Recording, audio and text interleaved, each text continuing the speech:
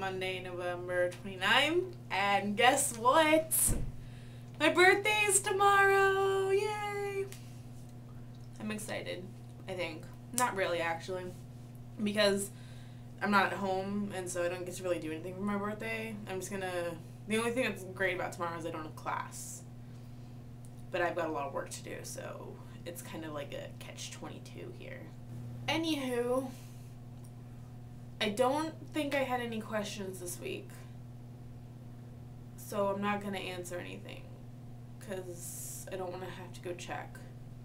I'll just take a punishment if I did. Thanksgiving, it was nice. I went to Tampa and I had Thanksgiving with my mom's father and stepmother, so my step grandmother and her family, and her family's kind of crazy, but you know, it was a nice Thanksgiving. Her sister actually gave everybody, you know, lottery cards, like scratch off lottery cards, and I won 25 bucks. I mean, that was pretty awesome.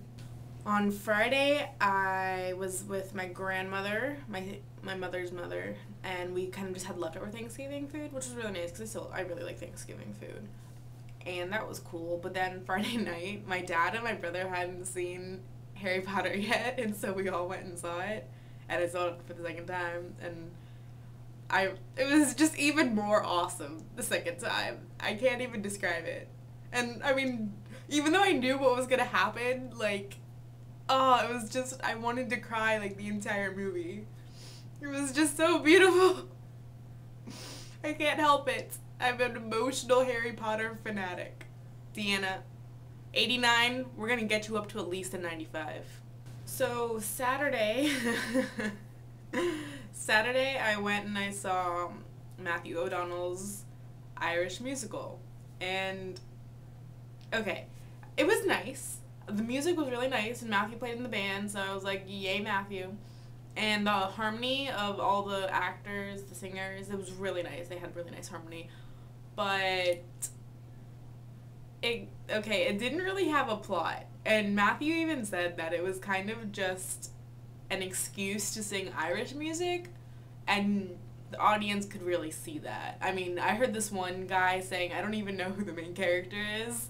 And I mean, that's kind of true because mostly it was just a whole bunch of Irish drinking songs, and they were nice, and they were played nice, and they were sung nice, but there was little to no dialogue, and there was like, you know, 30 second breaks in between different Irish music chants.